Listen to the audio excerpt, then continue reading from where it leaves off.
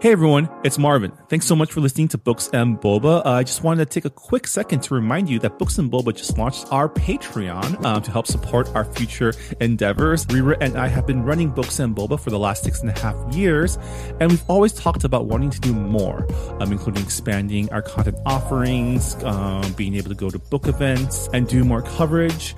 And so, um, to help us get closer to those ambitions, um, we started a Patreon to help us grow and to better support books by Asian and Asian American authors. We are offering two tiers for our Patreon. Um, the first is our regular Boba member coming in at $3 a month, which will give you access to our brand new Books and Boba Discord server so you can engage with your fellow Books and Boba Club members and also Reera and myself in real time. Uh, this is where we'll be aiming to move the bulk of our book club discussions. Uh, but rest assured, we'll still have a presence on Goodreads as well. And our premium tier is our Honey Boba member tier coming in at $5 a month, where in addition to access to our Discord server, you'll also get access to our monthly Boba Chats, a bonus podcast where Reera and I and some guests will get together each month and have a, a more casual discussion on stuff that may or may not be book related, as well as answer some listener Q&A. Honey Boba members will also have access to a poll to help decide an official Books and Boba book pick uh, once per quarter. So if any of that sounds interesting to you, um, support Books and Boba on Patreon by going to patreon.com slash books and boba. As always, Reera and I really appreciate your support. All right, thanks for listening, and I'm on with the show. Hey, it's Marvin. Thanks for listening to Books and Boba and our discussion of our July 2021 book club pick, An Ocean of Minutes by Thea Lim. This is just a quick content warning that there is a brief discussion of a sexual assault scene from the book. So if that kind of discussion makes you uncomfortable, um, please check out the time code listed in the show notes and just skip ahead about a minute and a half and you should be in the clear. All right, now to the show. You're listening to Whoa! Potluck. Potluck.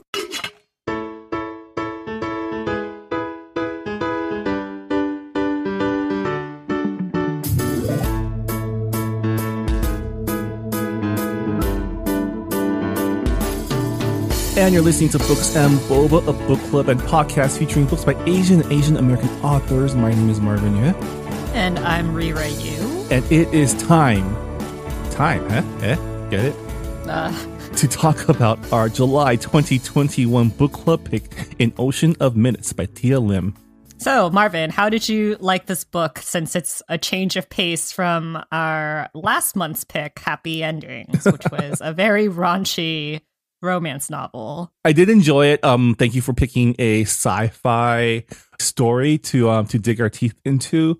It turned out to be a story that I wasn't expecting it to become, and I was actually really surprised. But you know, I'm glad to have read it and excited to be discussing it with you. Yeah, it really did subvert a lot of my expectations for like time travel stories. I've consumed a lot of time travel stories and movies in in my life, so um, it it was definitely different from what I'm used to.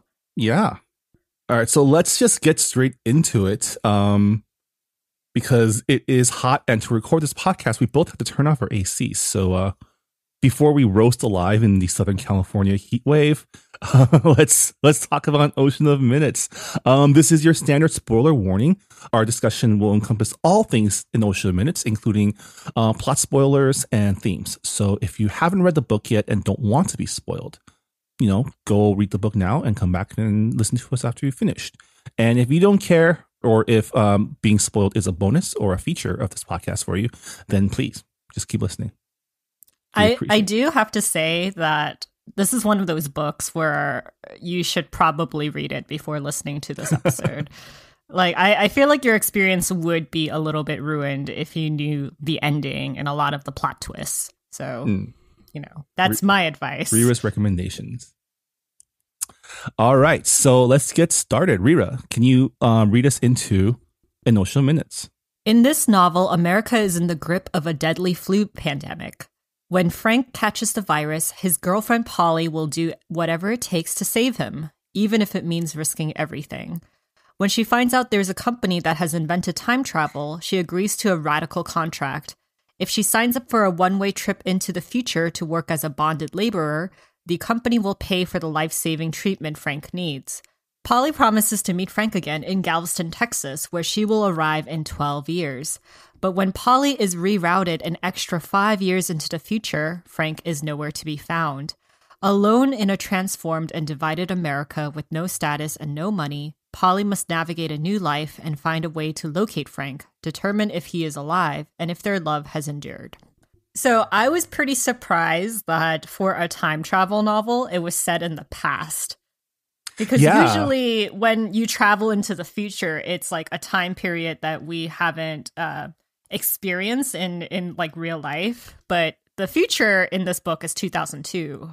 Yeah, it was actually it took me a while to wrap my head around the fact that this takes place in an alternate timeline. It's an it's an AU um, of our timeline where a mutated flu pandemic sweeps the nation slash the world, and um, you know nothing like current times, nothing nothing like what's happening right now. The United Yeah, States. that that was a thing. I was like, this book came out in 2018, and you know when people were reading it, it was like, oh, this is what life would be like if a pandemic hit. You know, it's like an alternate. Yeah. But but now that we are living through a pandemic, and we have been living through one for the past like year and like whatever months, uh, almost two years at this point, we're just like. Yeah, like a lot of similarities and a lot of parallels. I mean, this is what we've been seeing a long time from science fiction authors is this ability to semi predict how specifically the United States government will react to a pandemic, which is insist nothing is wrong and until it's too late. Yeah, because um, forgive me if I'm incorrect. The last like dystopia apocalyptic novel that we read was Severance by Ling Ma, and that book was also about um capitalism and how like America would be really bad at dealing with the pandemic, but at the same time capitalism will endure in some way. yeah, it was a really interesting, um, I guess, literary move for Thea to do that. It's, but I guess it also gives her the chance to like, because we've always talked about this in terms of like contemporary fiction, which is like having access to the internet and cell phones changes the game. And like setting it in the 80s and 90s, which is a time before widespread use of the internet, it creates a setting where communication is w- way harder than than it would have been, right? Oh yeah, yeah, definitely. I, I think that was like one of the reasons why uh, Thea uh, set this book like at the turn of like the 20th century. I th- like because in the back of um, the paperback, there's a Q and A with her, and and she said that like that was one of the main reasons why. Um, Yeah. you can't, yeah, like if you think about it. If someone from the 80s time traveled to, I guess, like the 2020s, 2010s, they would just be so confused with our lives with smartphones and like We like it- Wi-Fi. it would be like we were all living like kings and queens, right? Because I remember in like the late 90s, I had a prized 386 computer where I was able to play games like X Wing or whatever. But like that computer probably costs twice as much as your standard smartphone and is probably like the tenth of the power. I mean, that's just how much technology has grown in the, over the last like 10 years, even. yeah, I mean, like in terms of communication, um, I'm just thinking about long distance relationships during like our parents' era, and I'm Yeah. like, yo, they had to like do it the old fashioned way with letters and the phone card. Yeah. The phone card. Oh my! I used the phone card when I had to like call my grandparents. Yeah. and yeah, you could only call like maybe like once a month because of the rates. But now we have like WhatsApp and Zoom, and it's just so much easier to contact everyone. And yeah, like it would be a totally different book, and the struggles would just not exist if this was taking place in like the mid 2000s, 2010s. So, one thing that was really, uh, I guess, curious to me was the fact that time travel was invented, but they couldn't go back in time to reach patient zero because there was like a limit on like how far they can go back. Yeah. How much did you think that was real and how much do you think that was bullshit? See, like the entire time I thought it was bullshit. like I thought that the company that like made the time travel thing uh exist, maybe they couldn't go back to patient zero, but they probably could have impacted like how the pandemic would spread. but they chose not to in order to capitalize on it. Because we've seen this in real life where real corporations will exacerbate like um like I don't know, like climate change and environmentalism to benefit their own pockets. So, I mean, I guess um, the examples that come to mind is Enron in I think that was 2001 2002 where they um, purposely jacked up the price of like energy during like the big wildfires that were happening in, in California. Um, and then I'm thinking like, you know, pharmaceutical companies who have been accused of withholding like more advanced medications because the less effective ones haven't played out its lifespan of profit yet. Yeah, yeah. So that's why I was like, uh, it kind of sounds like bullshit. But you know, you're they, just they too cynical. You're like you don't believe anything any corp- any corporation That is says. that is right? true. When I was reading this book, I realized the extent of my cynicism. I was like, this book is supposed to. Be, I mean, a lot of sad, depressing things happen to Polly, and of course, like a lot of real life parallels are in this book. But the entire time, I was like, I don't know if this would happen, or I would say that's not like why would you be so naive as to like do this when the benefit isn't i don't know worth it I mean, it could be that um time travel paradox. What was it the um the grandfather paradox, where in order for time travel to be invented, the pandemic had to have happened, right? yeah i mean I, I i guess that's true because time travel was invented in 1993 and they were able to go back as far as what like 1981 which is like the time period that uh polly and frank are from because like th- when they're dating it's still like the late 70s so Yeah. we go from like 1978 79 to like 1998 Yeah, 1998. like, Where were you in millennium. 1998? uh in 1998 oh god it was was i still in new jersey i think i may have still been in new jersey and in middle school I was a freshman in high school. I had just entered high school. wait never mind Yeah. i would i would have been eight years old so i was definitely not in middle school I I have no recollection of like my middle school years, my elementary school years, except for the really really traumatic stuff. Oh but no. yeah, um, but yeah, like So you're not one of those people who looks back on the good old days of high school and middle school. Um, no, because once the internet happened, that was when I started to have friends and realized that I was actually, I don't know, like worthwhile as a human being. Oh no. So,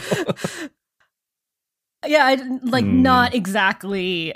Uh, remember back in the '90s, like. Yeah, like I'm not much of like a '90s aficionado when it comes to like, like so the current trend of like 90s nostalgia is doing nothing for you. No, it absolutely not. The only nostalgia I have for the 90s is probably like anime related, Mm, but that's pretty much it. Like anime and Pokemon, and hmm that is That's pretty true. much That's it. true. But nostalgia is a big theme in this book, um, especially since it's set in like the 80s and the 90s. I feel like those time periods are known for its nostalgia the most. I mean, turn on the radio and it's mostly like 80s rock band and 90s hip hop. I mean, that's considered classic music now, right? For better or worse. I think I think we've passed 80s nostalgia and we've moved into 90s nostalgia and even early 2000s nostalgia. I've been seeing some trends from when I was in high school coming back, and I don't know whether to be happy or sad about it.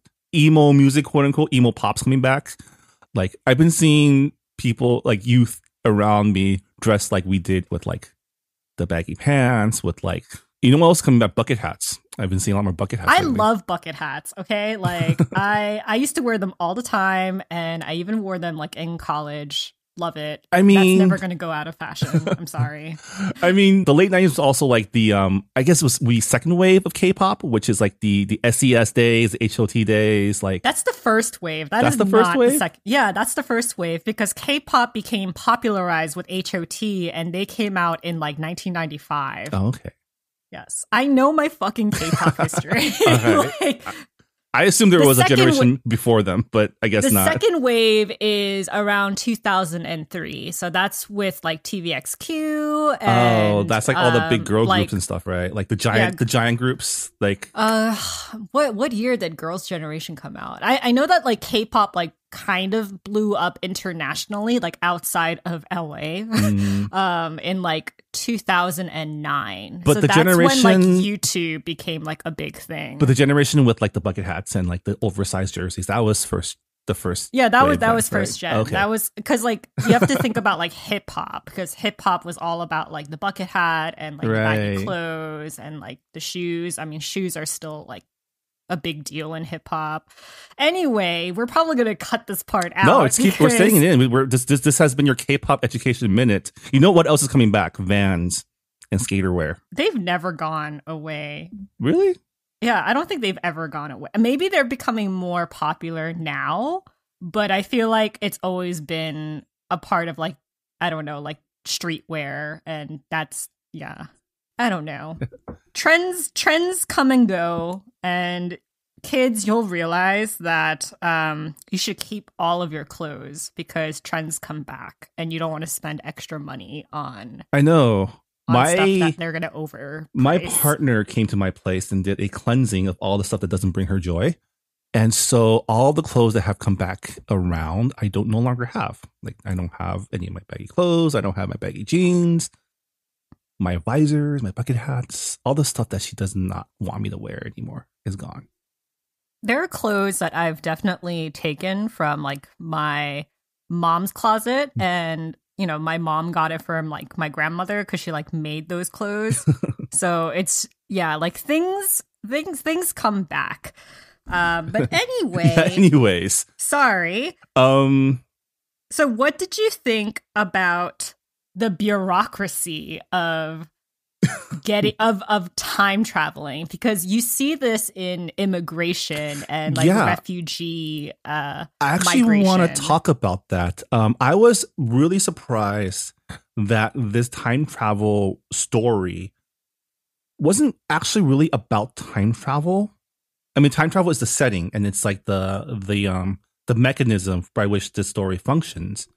But the story is really about like a refugee immigrant experience, right? Like Polly is essentially a time migrant worker, right? Like she travels through time specifically to work in order to pay off that the cost of like a loan that she takes out to a save Frank's life and b pay for the time travel, and she has to pay for like her lodging and pay for her meals and her like expenses, which is something that like like it's basically indentured servitude and it's something and it's something that like a lot of like I don't know if it happens in the states as much. It probably does, but definitely in like does. Asia, in like factory towns where like you have people coming from the countryside to work at a factory who live in company dorms and like live in company towns. Like it's something that happens to them too. Like they have a company credit, they get kind of sucked in and they kind of have to live there to pay off their debts, right? In order to and the thing is they keep adding expenses so you don't actually get the chance to leave when you want to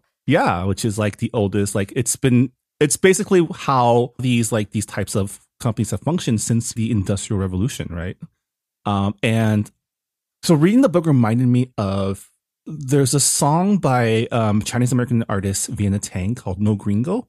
Um, I Oh, think it was yeah, part of her third album, which is about like a hypothetical future where the border with Mexico has inversed, and basically people from America would sneak into Mexico for jobs and economic stability. And it's kind of it reminded me of that where it's like time travel becomes a new border and the delineation is no longer well, it's still white and brown, white and black, but also like past and future, right? Like people who don't belong here, people who come here just to work, Yeah, and yeah. how they're treated as second class citizens. And it was interesting how like Polly, who is like a white passing Middle Eastern woman, right? Like Lebanese is yeah she's she's mixed race so Yeah. she's um part lebanese and and part white which Lebanese still counts as Caucasian, right? I, I'm like yeah like actually caucasian because you know how people say like oh i'm caucasian but it's like the the origin of caucasian is you live in the caucasus area in Yeah. in like like between asia and europe and it's Mm. just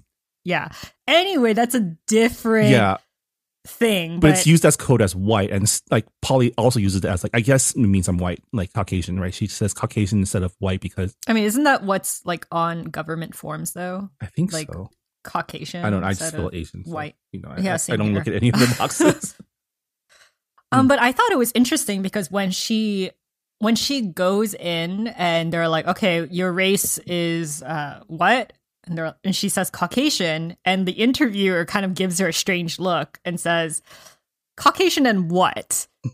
and I was like, "Whoa, man! Like that is incredibly, incredibly rude." but it's i mean i don't know how many times you've gone through international um customs they're all rude they're all like that i got harassed by a border agent once for being canadian and having a green card and he was saying Wait, are you kidding me? yeah he was like, you know we can take this away anytime right No, you can't. um, no, I've never had that experience Oh, before. just me then. But it's interesting because um she she gets an O1 visa, which is like the special specialized skill visa. And then everyone else has like the N1 visa, which is, you know, just like the regular visa and you have Yeah. like a longer period of time that you have to work as an indentured servant. And um, we noticed that like the O1 visa holders are pretty much all white. Like they're all white ladies. Yeah. And okay, so it was endlessly amusing, or not maybe not amusing, maybe a little depressing that you have this great technology for time travel, and there's so many applications you can use it for. But what do the corporations of the future use it for? To bring in cheap labor for their resorts. Yeah, when when uh, Polly said that she was an upholsterer who repairs old furniture, I was like, "What are you gonna do with that skill in in the future?" You know, like I thought they would hire like more doctors or or you people would who work think in so, right? Because like the entire idea of this time travel like shifting is like, okay, in the future, population's been decimated. We don't have enough skilled workers, so we need to bring people from the past before they get killed by the virus to, you know, take up these posts. Or that's how I would think, but no, it's like all right, there's not enough people to work at our resorts and to like make this into like a tourist destination. We need to bring in cheap labor from the past before they all die because like we've seen in this pandemic, the people most hardly hit by pandemics are the poor, right? yes, yeah. And let's bring them in so we can have more labor to serve our rich clients. Yeah, and if you think about like in the first chapter, uh, before Frank gets sick and they're seeing the advertisements for Time Razor, he says they don't advertise this to the rich. and it's totally true because the rich can afford the really expensive health insurance, health care to you know recover Mm-hmm. from the flu whereas everybody else they they need to like be indentured servants to even because- have access to it There is a cure by now. The cure came back from the future, right? Yeah, yeah. Uh, like I'm not sure if it was like like a full on cure or if it was um It was treatment at least. It was yeah, it was it was they, they at- were able to save Frank, least. who was like, you know, almost dead when when Polly left. Yeah, and like 6 months later he's fine. So Yeah. Okay. Yeah. We'll, we'll talk about Frank later because that's we gotta we gotta unpack that whole like the romance angle of this time travel romance, um, or romance with a question mark. but I thought it was really interesting on how like time travel there is so much bureaucracy, right? Like they don't tell the people who are applying to stuff like all of the small print uh things that are like hidden in in like the terms and conditions. I mean- and when everybody gets to like the the I guess like terminals, like no one knows where they're going. No one knows what they're doing and they're just giving out false information and it's like yeah, that is pretty much like That's like cor- Everything. Yeah, that's. I mean, that's pretty much like corporations 101, right? Like, do any of us read the end user license agreements anytime we sign up for anything online? Probably not. Do we read everything in our mortgage? Do we read everything in like the employment contracts that we sign? Probably not, right? Um, and they're counting on that, and and that way they can say, "Well, you signed this, so we can do this." And but do you have a choice though? Because like Polly goes to save Frank's life and she's going to do it no matter what. It's just. Uh, I mean, isn't that just like institutions taking advantage of the poor and vulnerable? Like oh, this is kind of like it, it I mean, all time travel stories or all science fiction stories are allegories, right? They're meant to shine a light on our lives to make us think about how, you know, what think or what are the things we're doing now that will lead to this hypothetical future. And like nothing that Time Razor is doing is anything new. It's stuff that's been going on since the beginning of like essentially corporations, right? The beginning of you know you know um, capitalism as like the main form of of business and economy in in the world. And yeah, Polly's story is kind of her dealing with that, like dealing with the ways that corporate entities and institutions take advantage of people who are desperate.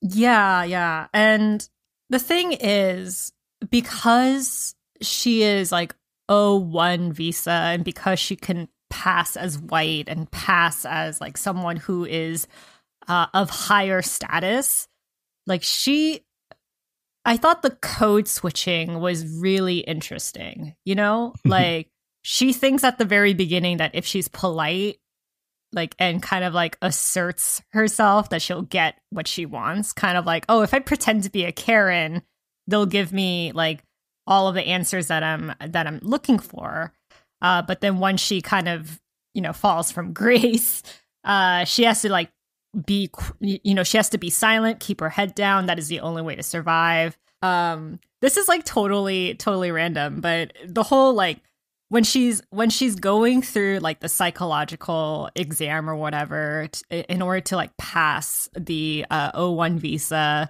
and like how they tell her that she's going to 1993 but she's actually being rerouted to 98 because that's the time period that her employer needs her and they never inform her yeah. because it was just like a like uh, an administrative error and it just reminded me of when i went to go get my citizenship test uh like you know, it's a really big building, and the security guard was like, oh, go to like the fourth floor. So I went and I'm like waiting and waiting, and they're still like not calling my my number. And I was like, well, it's like the government. Everything is slow. So I guess, you know, like if they're like an hour long wait, it's fine. So I wait like an hour and a half, and I was just like, what the fuck is this? So I go up to like I go up to like one of the uh, the staff and I'm like, hey, I'm here for my citizenship test. And the security guard told me to come up here. And they're like, oh, no, no, no, you're in the wrong floor. It's like the second floor. And then I go to the second floor and like the the people there are like, oh, like you're you you missed your appointment. So you have to like reschedule it. And you know, with citizenship tests, like it's it's like months of of yeah. like rescheduling. So I said, fuck no, I am staying here until, you know, like someone doesn't show up or whatever. And that's what happened. But that's pretty uh, any- bold. Yeah, that. But anyway, like it was just like a lot of bullshit where it totally was not my fault, but the government was saying, no, it's your responsibility to like know where's where where you're supposed to go, and it's your fault for like not paying attention. And it's like, but you gave me the wrong information, so like yeah. Like, what the hell? and that's kind of how Time Razor is, right? Everyone has their own specific thing they're doing and they don't care about anyone else. So if if someone else messes up, it's at least it's not their fault. And that's kind of, you know, um, as someone who was like in a past career or life has worked not in government but with government. I want to say a lot of people working in government are like that, where it's just like I just care about my little domain, and anything outside of it is not my fucking problem right? And it's, I mean, it goes back to just the journeymen, right? The people who travel to the future to work aren't seen as people. They're seen as like company property and resources who have no rights, right? Everything they do is a cost to the company. And so that cost is instead of being subsidized by the company to like give them a better experience, they're rediverted back to their workers, like inundating them with even more debt. Um, and I mean, I don't know if they can unionize, but they should really probably start a union.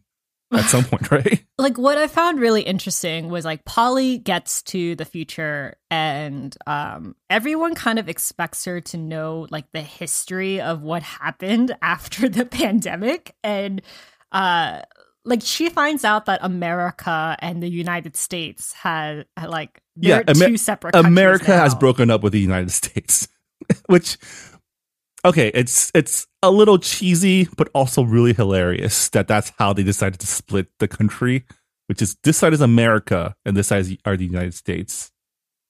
I mean, if you think about it, with like the Civil War, like wasn't that what they were aiming for? The South wanting. I mean, even then, though, at least they have different names. It wasn't just the United States literally cut in half. Yeah. yeah it was very interesting and funny to me because uh, they just expected her to know that it, it, was like two separate countries and that she wasn't a citizen because she wasn't here when America was founded. And therefore, she's on a visa, even though she was sent by the company to work there. And, you know, she's kind of treated as as someone who who's pretty much stupid because you know, she doesn't know all the things that she should know. She's taking the wrong bus. And it turns out that like, you know, the bus driver was was wrong, like in, in terms of like picking her up. And it was just like, oh, it's not my fault. Like it's your fault for like getting on the wrong bus. And yeah, it was just like a lot of um of blaming. Yeah, I mean, this story at its core is about Polly's refugee experience, right? Her, it reminded me a lot of the Map of Salt and Stars, which we read a, about a year ago, I want to say, um, which was about a Syrian child's journey, like as escaping her war torn country. Like, given this story isn't as bleak, they're still escaping like certain doom.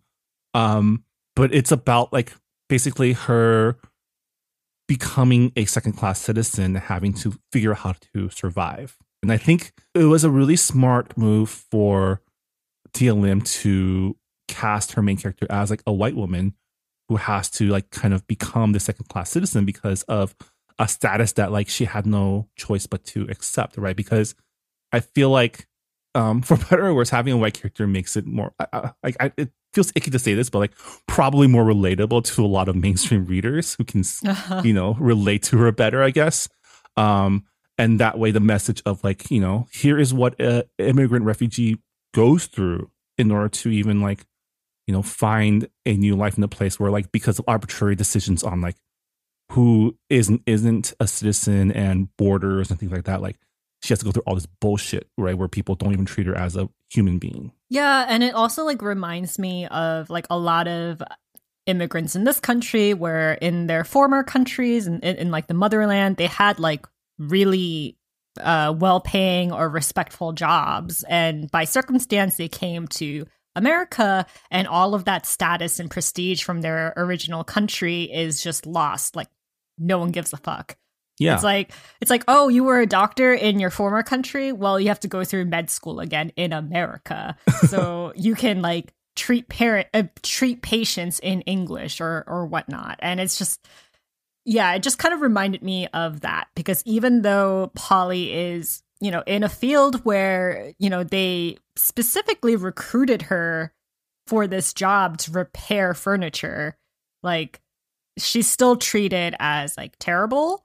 But at the same time, like she understands that it could be a lot worse because like when she looks outside the window, she sees like where all of the N1 um workers are are like you know they're showering outside there's no privacy they're living in contain in, in shipment containers and she's like yeah. well at least i'm not them so. yeah and i mean they're they're doing the jobs that no one else wants to do which is like a little on the nose allegory for like migrant workers here right like they're they're the people doing the jobs that that quote unquote regular americans don't want to do even though they're still mad at them for taking jobs and so like I want to talk about the question of like why people do this, right? Like why go through all this? Like because Polly's reason is not for herself. Like a lot of people did this to survive, to get jobs, they traveled with their families, they it was a way for them to live through the pandemic. But Polly did it to save Frank. I mean, you can argue whether or not it was a selfish reason. Um, it was definitely an impulsive reason. and it was for someone else, right? And Frank kind of like reuniting with Frank, who at this point she still believes to be the love of her life, becomes her driving force for like the first eight tenths of the novel. Yeah, um, I had a lot of feelings about Polly and Frank's relationship because, like, first off, like they're boyfriend and girlfriend. They're like as serious as they are. They're not married, and she's not like a family relative. So I just found that like I'm, I'm just like you're 23 and you're gonna go. Uh, you're gonna you're gonna sign into indentured servitude for a relationship that you know might not have been as stable as you thought you thought it might be. Like um you see it with like the other uh, indentured journeymen. They're like oh it's nice that you know you did this for your boyfriend. You did this out of love and you believe that you'll be reunited again. But that's something that happens in fairy tales. That's not something that like actually happens and i i seem to kind of like line myself up with that opinion. I was I was just like, why why are you doing this? But at the same time, I'm like, I haven't been in that position of of given the option to save a loved one. And it's like Yeah. Yeah. And it kind of becomes her I mean, it drives her throughout the story. It also gets her in a shitload of trouble. I mean, her trying she to find not Frank. thinking for yeah. Yeah. She was she made some real bad decisions. Um, but I think, yeah, I, I, I can understand why she did it, even though I don't agree with what she did. Um, but that's us being having the benefit of knowledge of having read their relationship through like an omniscient third person narrative. Um, because I mean, even in the flashbacks, like where they were at the time when Frank contracted the illness was not a very like stable time in their relationship, right? It was kind of like they were kind of on shaking ground. They were maybe starting to reconcile. And maybe that led to her decision. Like, okay, like we were just starting to like make up for this disastrous DC trip. Um, like I don't want to lose this now. And it ends up losing way more than she thought she would. Um, but like Frank during that DC trip was kind of a dick. Yeah, like I mean, I think it's just like a difference of values because Polly the entire time she's like, well, like we'll have like all of these holiday trips in the future. Like, why do we have to like go do all of these touristy things in DC? Like, why can't we just stay in the hotel and just be I don't know, just like be lazy bums. Yeah, and, a vacation should be a vacation, right? So yeah, but they have different different definitions of how they want to spend their time and what's considered to be quote unquote like romantic or couple activities. And that was like the first sign to me where, well, not the first sign, because like at the very beginning when I was reading this book, I was like, yeah, Frank is not like, like I don't know about this decision to go save someone who you know is your boyfriend and you're you're. I mean, there are married couples out there who. Well, you are a practical, kind of logical apart. person, so you know obviously you would probably spend more time weighing the pros and cons of of doing this. I mean, this, okay, this is really funny because I am a very cynical person when it comes to like romantic relationships, but like I've been in a relationship that's been like it's been 10 years since I've been with my partner. Um I've been with Dan since I was 21. Um and like you know, like it was like what, like six months into our relationship where I said, Hey, I'm gonna move to the other side of the country after I graduate. Um, so that's what I'm gonna do. And I was totally expecting the whole like breakup thing because I was like, long because like in my in my opinion, like long distance is it's just not something that I was willing to put myself through. But like literally as soon as I said I'm moving to LA, he was like, okay, like when do we want to move? and I was like, uh, you're planning to come with me? And he was like, yeah, like I, I want to be with you. So yeah, like when do you want to do this? And that's something that does not happen. And so you're saying in your relationship, your partner is the Polly. I mean, I think we're both very uh, considerate with with uh, with our values and just compromising and stuff. But like, it is it is very rare. And, you know, for someone who is in that type of relationship, I like I had my cynicism, so I could not help but be cynical to um cynical about like Polly and Frank's relationship. But she is like she is still young. Their relationship is like maybe at this point two years old, right? Which is still relatively early. I guess in the eighties it might have been a long time. I don't know. Eighties values I don't align with because I don't know them. Um, especially 80s in like the upstate New York um, um, culture. I mean, you mentioned the difference in the way that they perceive, like, or they value like the present and the future, and those are things I think they might have been able to work out given more time together. But this thing happens, the pandemic, which rips them apart. It did pose the question of like, how much are you responsible for someone else's life? And like, how much is, how much self sacrifice is too much sacrifice? Yeah. Is that right to, like, is that right to, to, to do? Um, is it selfish in a way to sacrifice that much for someone you love without considering their wishes? Because Frank tells her not to go. yeah.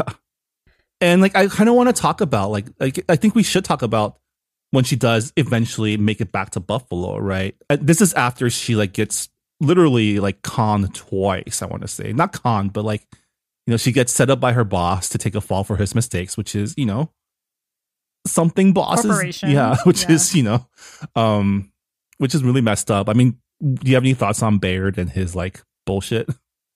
Um, I think Baird was an interesting character because he represented what could have happened to Polly because mm. he had the option of being a journeyman, but he didn't decide to do that. So he watched his partner die.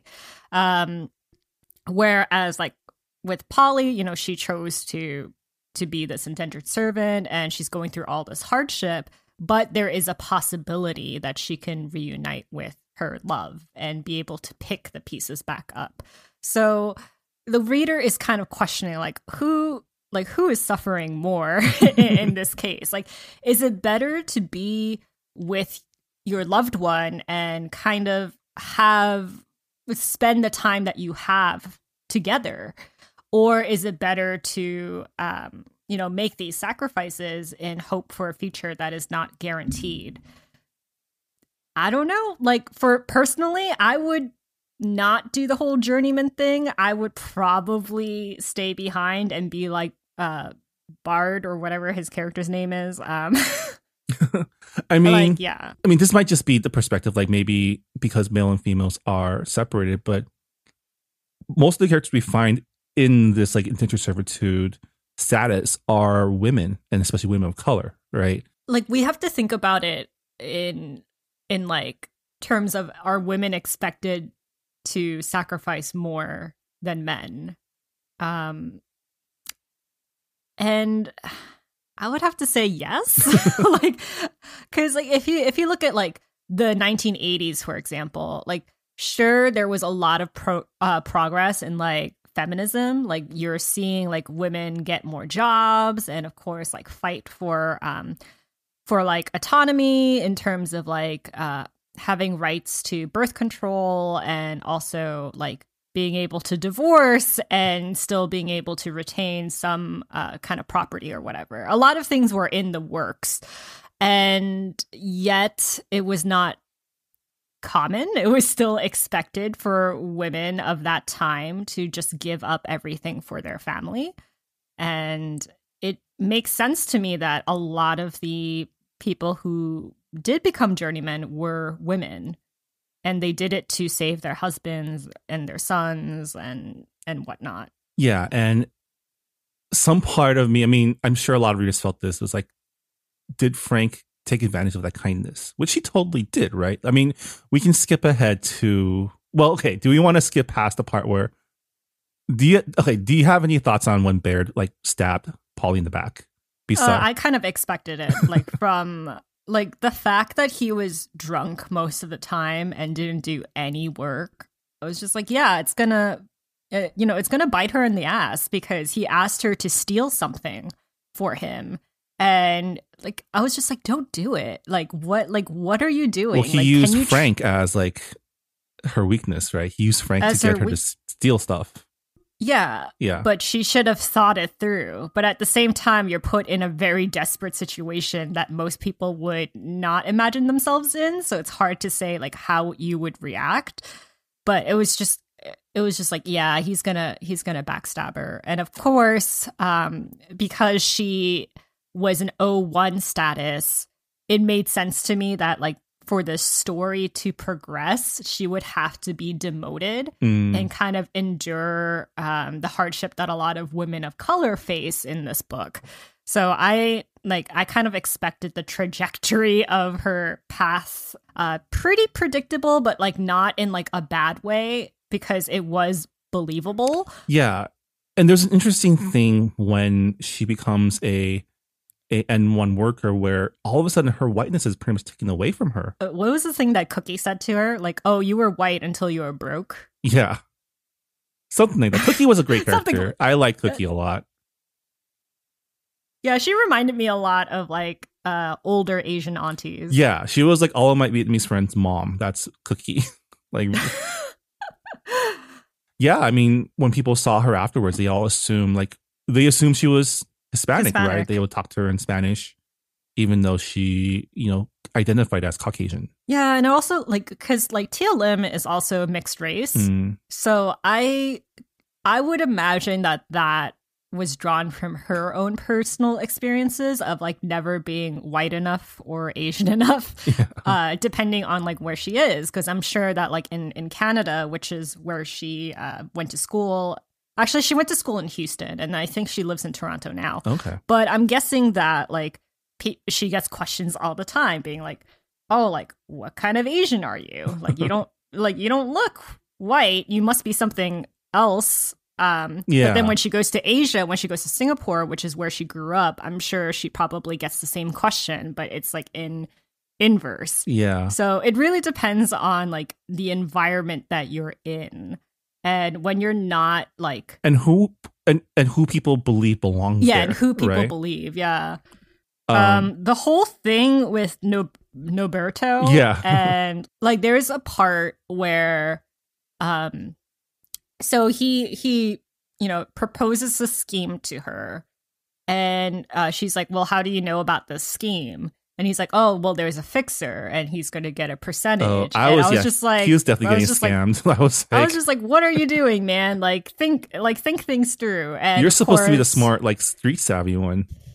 and of course, you know, he gets swindled of all of his money and uh the whole whole deal with the fixer is they were going to provide him with like the pregnant urine sample because the whole point of the scheme is to say, "Hey, we're a couple that are uh that's expecting, so give us like the extra income, the extra hmm uh, extra goods to start a family. And uh, now that they don't have the evidence to apply for this special treatment, he's like, oh, I'm going to try and like rape you so that you get pregnant. And it's only going to be for like one or two years, and then and then you can like do whatever you want. And it just made me think about the women who didn't have a Norberto, like they were like probably like kidnapped and raped solely for the purpose of of like um Yeah. their rapist getting ahead and it was just like a very like uncomfortable feeling That was a that part with the really- sexual assault Yeah, I mean, I was kind like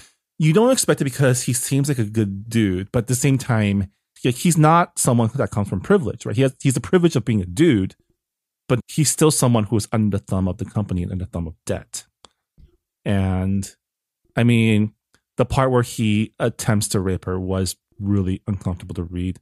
What did you think about his like turnaround? Did you expect him to come back around and like kind of no redeem i himself? totally did not i did not expect him to pay off her debt and like get her a, a ticket to buffalo that was like totally unpre- unprecedented in my opinion um Do you think it's out of character? I feel like he did seem like a at least a guy who wants to be a good dude. Yeah, because if you think about his backstory, um, when he was like in love with uh, his girlfriend Marta, um, like he was pretty happy living in the wilderness and like not caring about you know making money or uh, you know, being someone important in society. But, you know, his, you know, his girlfriend left him because she couldn't stand like being poor. and that kind of drove his decision to, you know, you know, make money, try to be autonomous, be the boss. And I think after losing pretty much everything he saved in in like the past decade and him doing something that he thought he would never do like it makes sense to me that like he would try to redeem himself. I just didn't think that he would redeem himself like to that extent. Yeah. Like yeah. Um but that leads polly to return to buffalo in the the new united states which again she's no longer a citizen of because and i think this was something that was really amusing to me was the fact that like the United States government dissolved and reformed as two countries, which I feel like our current government is on the brink of every single day over the last like four years. I know, right? Um, but yeah, like she returns to Buffalo and sees that everything has changed, and she finally finds Frank and his daughter. I guess I, I want to say I was not surprised that Frank kind of moved on without her.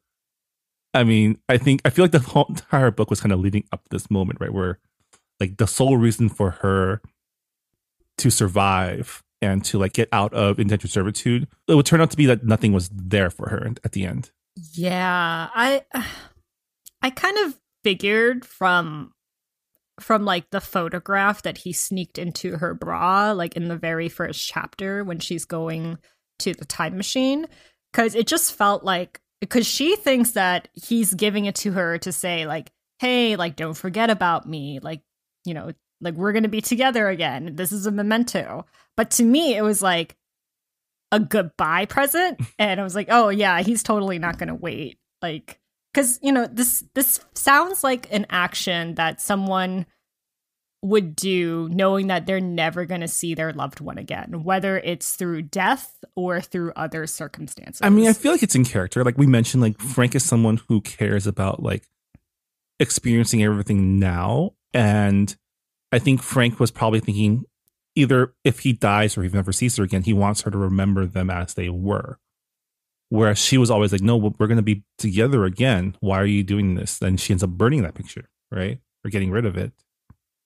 Yeah, I mean, she couldn't have brought it anyway because all paper stuff gets destroyed in in the time travel. Yeah, but she brought her machine. baseball cards.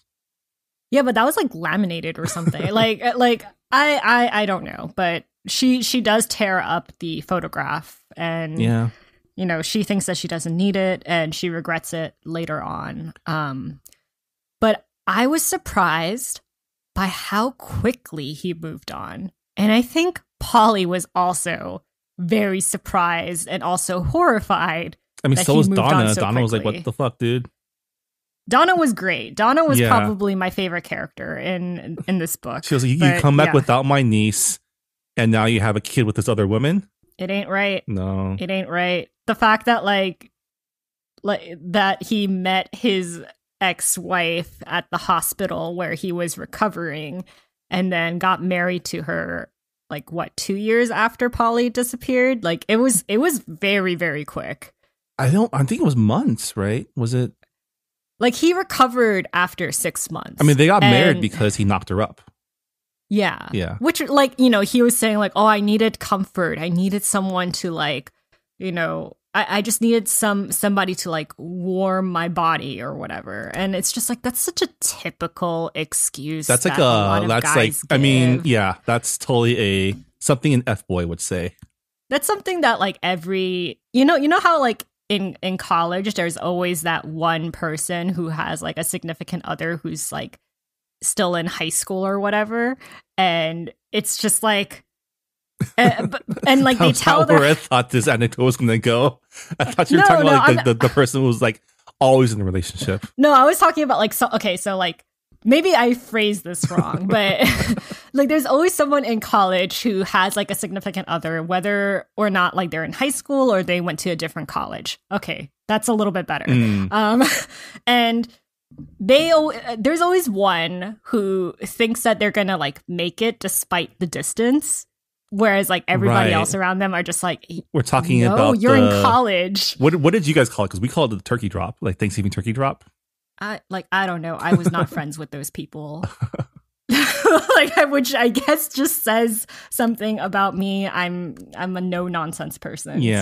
So yeah. Um I did have a roommate though who like it was like sophomore year of college, she was engaged and uh her fiance was like like, you know, not in college. She was like older older Oh wow. um i think he i think he was like 25 or whatever and like at this time we were we were like 19 20 and like you know i would just be like hey yeah like you know good for you and inside i'm just like this is not gonna this is not gonna work. And if it does work like i commend the guy. Like this just seems like a, a doomed relationship. And that's kind of how i felt about like polly and frank. I'm like it's like oh sweetie like did you really think that this was gonna work out? Yeah. I mean, the root of Polly's relationship with Frank is he's probably her first like serious, serious boyfriend, right?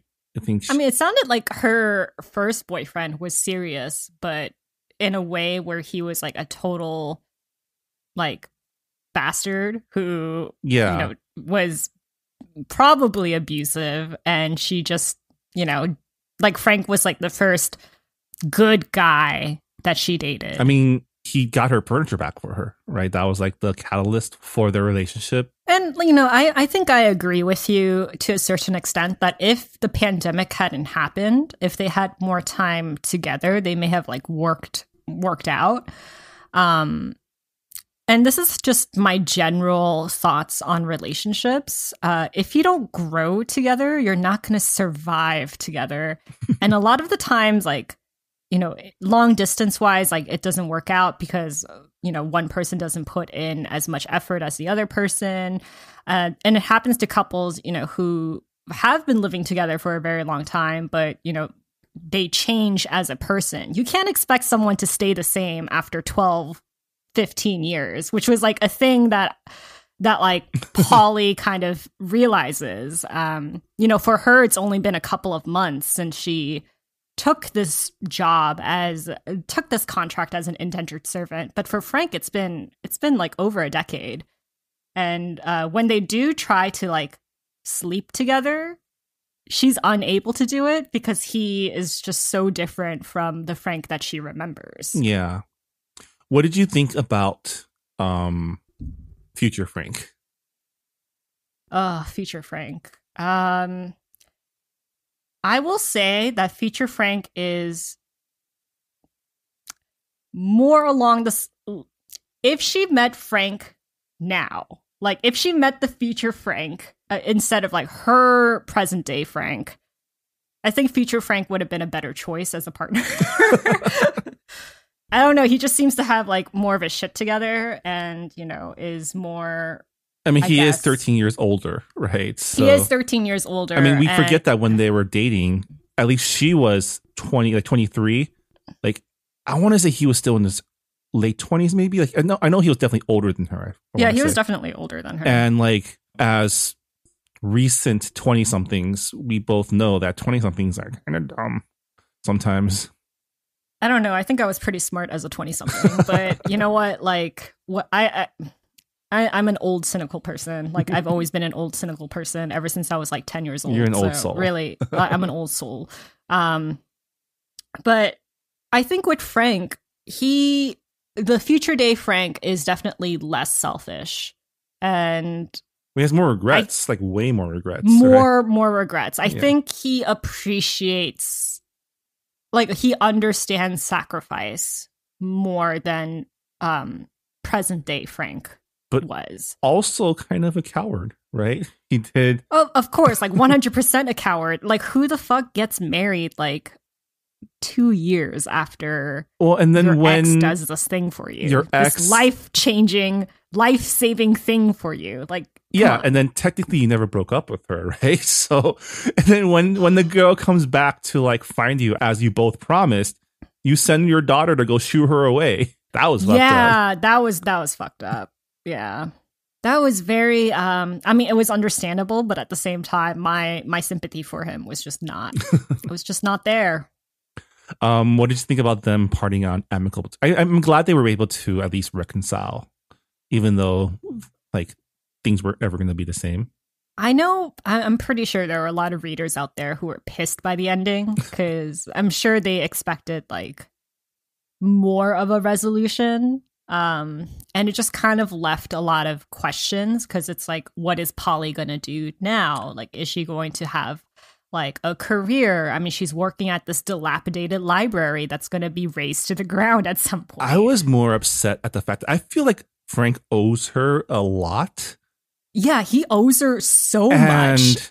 It seems like he's trying to weasel out of it, right? Like much like a lot of the people who are from the future in this story, like trying to shirk their responsibilities because they can, because Polly is someone who will forgive them because Polly at her core is a maybe still a naive, like innocent person, even though she's been hardened by by all these experiences. I think like she does what she needs to do. Whereas with Frank, he is not that kind of person. I mean, you see it like in like was it their first date with the squirrel? How like the squirrel got run over and he was like, "Oh, we should end the squirrel's like misery cuz it's going to die. Like it's better to just like kill it now." And she's like, "Okay." But he's unable to do it, so she does it. And he's just like, "Wow, like like I admire you because you're able to like do the things that needs to be done or or like you're fair." And it's just like dude, like you suggested Yeah. that like that you do this and you didn't even follow through. And same thing with like her like him encouraging her to apply to that like furniture repair program at a college. And you know she says like oh like I'm not going to do it. But she applies uh and she gets in and then he's like disappointed. And you know like he makes the effort to drive 6 hours to see her but at the same time he's like complaining about the distance. So the entire time I'm just like, this guy. It was red like, flag after red flag, right? it was red flag after red flag. So it did not surprise me that, you know, he didn't follow through on his promise and that like in the future when they do get reunited, he doesn't do nearly enough I to mean, like redeem himself. I mean, we all have that friend, right? Who like we have no idea why they're with their significant other. There are all these glaring red flags that all of us can see, but like they obviously can't, and we can't figure out why. And I feel like Polly was that friend for all the readers. Yeah. Yeah. but anyway, I was fine with the ending. Uh, long story long story short, I was fine with the ending. I think it fits uh, very well with um, the time travel theme. I don't know if you noticed, but the um, future the the future chapters where she's like in America, um, it was written in past tense, but Mhm. then with the flashbacks with Frank, it was written in present tense. Oh, So, um, to me, it was like a very interesting uh, juxtaposition because it's like she's constantly living in this time period where like everything about her relationship was rosy, but us as readers were like, no, it was uh, red flag after red flag. like this, this is not a relationship that's going to work out. And finally, when she is able to kind of accept the reality of the situation, like I think all of the other um, thoughts about Frank is in past tense from there. There was like that one short chapter where it was written in first person. Um, it kind of threw me off because I was like, who's talking right now? For a second, I thought it was Frank, but it was actually Polly. And um, it made me curious as to how different this book would have been if it was written purely from her perspective Mm. because I feel like it would have been interesting to get more into her head of like, like I'm in love, and this is like, like this is gonna happen. Like I feel like it would have been more powerful in terms of like, would it be more powerful or more frustrating? Because like I don't know yeah, if I but want that's to. the thing. It would be more frustrating. It would be more frustrating, and it would have made the betrayal like, it would have made it hurt more. Mm.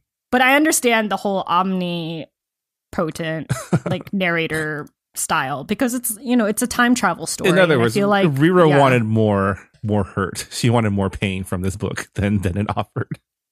Um, yeah, I think yeah, more more pain would have been good. I mean, the Um, entire book was like coated in like melancholic ennui, like you know, where I mean, and it's something that we kind of can relate to now that we've also been through, uh, are still experiencing our own, you know, pandemic. Given it's not as bad as the one in the book yet, um, but this idea that the world will never be back to how it was, right? Yeah, yeah. Um, Nina from our Goodreads forum, uh, she raised some good points. Um, I'm just going to read read them. Um, Lim manages to not only describe in detail Polly's experience navigating life after time travel, but also makes the reader feel the constant tension of things never going the way we intend, how relentlessly little control Polly has over her life the moment she decides to use it to save Frank, and the realization of things never being the way they once were. Yeah. Uh, the melancholy of knowing things will never be as they were uh, is a constant background to an ocean of minutes. And I think, yeah, I Yeah, agree. I mean- 100%. And again, everything that um, Nina described maps like almost one on one with any refugee immigrant experience where you move to a new place and basically you're at the whims of the bureaucracy and the government and institutions of this new place and where they will allow you to live and work. And and no one tells you the rules either. yeah, yeah. Um, um i okay like this is this is my last point because we are um almost a- out of time but what did you think about the difference between how america handled the pandemic in this book versus how like singapore and I- like sri lanka and taiwan dealt with I it did love that juxtaposition. That that that part made me like it was. It made me chuckle, but also made me go oh, because it like again these kind of what pandemic books. in real life yeah, have a.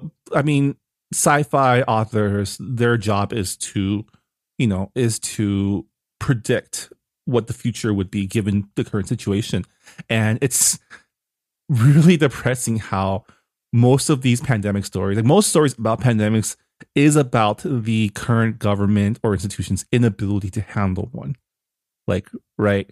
Um, and I mean, Singapore, like the the little anecdote about Singapore being able to survive the pandemic because it was able to a close off its borders and b maintain trade relations with and like actually like kind of um sh- um um a because it closes borders and and secondly because they were able to share their resources with their neighboring countries in order to maintain trade and a sustainable ecosystem is it was it made a lot of sense because um in these times if if the world had cooperated with each other covid probably wouldn't have been as, bad as it is right now. But because i mean i don't think it's going out on a limb to say that a lot of our problems currently in this country about covid vaccinations and the spread of the you know the delta variant right now a lot of it has to do with america's identity as like a nation of free peoples, which some people take to mean don't tell me what to do. Yeah. Um you know like with with a lot of like Asian countries, like the the reason why uh COVID got there in the first place is because of like tourism and it's like, oh yeah, people who did not care about other people's safety and health. Uh, they decided that they needed to go on vacation, and that's that. They were like patient zero for that country, and um, just like the thought of how a lot of other countries have dealt with COVID much better because you know they were more prepared. They have a better infrastructure for like healthcare. And they're not getting the vaccines because America is hoarding like most of the resources and it's just Yeah. so indicative of like how america functions as a country and how you know like we thought that the pandemic would be over by now or at least like with vaccination we're like okay we have like this percentage of people vaccinated, it should be safe enough to like go out and, you know, wear a mask occasionally, but not all the time. But now there's the Delta variant, and we are pretty much at the same point as where we were last year Yeah. around this time. Which is like so frustrating because this would not have happened if people just wore their masks and gotten vaccinated. Well, and now we're being asked to be careful for the sake of people who aren't being responsible. Right. I'm just like I'm just so mad. Like I know someone who was vaccinated and they got the Delta variant. And it's just like it's so infuriating that they got COVID after they got vaccinated because someone who wasn't vaccinated spread COVID around. And it was it's just like like it makes like I like I should care about other people and be empathetic, but it is very, very hard when people do not give a shit about other people's like lives. Yeah. I mean, we're we're lucky that COVID isn't whatever this virus was in no show minutes, right? Otherwise, we'd be totally screwed. Like right now, we just no there's no time travel to save us. My question to you, Marvin, is would you do the time travel option? I mean, I feel like we all kind of time traveled, right? Because what is 2020? Does anyone even remember 2020? 2021 is almost gone. Shit, you're right. Ooh, I don't know. I feel like I would read the contract first. I mean, I already said that I would probably not go through with it. Like, no way. I feel like as someone who is at least currently insured, I would probably like I would think about it. Like if if, if I had no other choice, maybe. But um I don't know. It's hard to say what you'll do until you're you're met with that decision, right? It's true. It's true. Uh, one one last point. I don't know if you like. You can edit this. Like, This is like your third last point. yeah, yeah. You can edit like whatever. Um, like when Polly goes back to Buffalo and she realizes that it's not the city that you know she left it. It just kind of reminded me of like how a lot of immigrants, including children of immigrants, they go back to their motherland and they're like, "This is not." Like how it was when Yeah. when I left. And I've like I've mentioned this in other uh episodes, but like whenever I go back to Seoul, it's like it's just like it's been 5 years and everything is like all the roads have changed and there's like all these buildings that like did not exist before. I mean, that's the thing with immigration, right? Like when you leave a country, when you leave a place that you lived in or is you're connected to, that place stays the same in your mind until you go back. Whereas that's not the way the world works. Life goes on without you. And yeah, that totally is what um, her homecoming to Buffalo was like because not only did she come back, and much like the refugee experience, not only did she come back to her town that's totally changed, she went back to her, her the same hometown, but a different country now. yeah. You know? Yeah. Yeah. Nicely think- done, Thea Lim. Yeah, nice nicely done. Um I I'm sorry for the people who who read this and were just like I wanted a good fun time, but sorry. I mean, Um, it was never going to be a good fun time. It, it is No, a we read a pandemic, pandemic dystopia book. Yeah. Um, we read a pandemic book during a pandemic. I think, so yeah. really- I mean, I, I read some reviews of people about people uh, accusing it of being a bait and switch, whereas like it was sold to them as a time travel book, but it was really about the refugee experience. But I thought it was a really good refugee experience book with the trappings of time travel, and like Okay, here's the thing. I have never read or seen a time travel story that wasn't about something else. Like- That's true. That's true. I mean, sorry, Thea didn't. Um, I mean, Thea didn't go into the intricacies of time travel, but you know, again, that's proprietary knowledge of the Time Razor Corporation that um, Polly did not have access to as a um, laborer. So I don't know if you've seen the movie Looper, but they kind of like do the same thing where they're just like, explain the mechanics of time travel to me. And they're like, time travel is fucked up. We're we're gonna just be sitting here complaining and debating for hours on how time travel works. No, we're not gonna do that. And it's like, yes. Um you just need to know that it exists and it works. yeah, you just need to know that it exists and your audience has to just believe it for for a moment. Yeah. So really All right. Um, well, let us know what you thought about An Ocean of Minutes by Thea Lim um, by sounding off in our Goodreads forums, um, engaging with us on Twitter, and just, um, I don't know, messaging us wherever on Instagram. Um, and yeah, did like, you agree with us? Would you? are you a are you a Polly Frank shipper?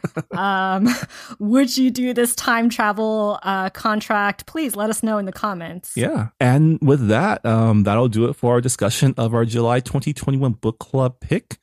Um, once again, Reera, thanks for joining me in this time travel journey of this, you know, fictional United States. Yeah, yeah. I, I love talking about uh, how capitalism sucks with you, Marvin, every single time. I mean, it's not our fault. That is the theme of like many of the books that we've read, and a lot of fiction that's out there right now. True, true. Although this book came out in 2018. Mm, that's true. Yeah. Um, all right. So, on that note, uh, what are we reading for the month of August? We are reading Randy Ribay's Patron Saints of Nothing. So, it is a young adult contemporary novel about a Filipino American teen who flies to the Philippines to discover the truth about his cousin's murder. And the cousin's murder is apparently related to President Duterte's war on drugs. So, also a fun time novel. yeah, I'm um, looking forward to discussing that with you at the end of the month. But with that, that brings us to the end of this episode of Books and Boba. Thank you once again for joining us for another great month. We are coming up on our fifth anniversary. Yeah, fifth anniversary. Wow. We should probably do something. We should probably do something. Yeah. Let's spend August brainstorming of something to do. Yeah, probably. May, maybe we should actually meet in person. Oh. Like I I've seen you like once, and that was like for like maybe two minutes. That's true. I think I was dropping yeah. off some food for you. Yeah, you were dropping off something. Yeah. yeah. All right. Well, thanks right, for joining well, us on Books and Boba, and we'll see you next time. All right. Bye. Bye, everyone. Thanks for listening to Books and Boba. This podcast was hosted by Marvin Yueh and Reera Yoo and edited and produced by Marvin Yueh follow the book club on Twitter and Instagram by going to at Books and Boba and engage with us on Goodreads on our Goodreads group. You can also check out past episodes of the podcast by going to booksandboba.com and by subscribing to us on your favorite podcast app. Don't forget you can support Books and Boba and Asian American authors by purchasing books at our bookshop.org account. Check out the link in our show notes and also at booksandboba.com. Books and Boba is a proud member of the Potluck Podcast Collective, a collective of Asian American hosted podcasts featuring unique voices and stories from the Asian diaspora. Learn more about the collective and check out our fellow Potluck shows by visiting the website podcastpotluck.com. Thanks for listening.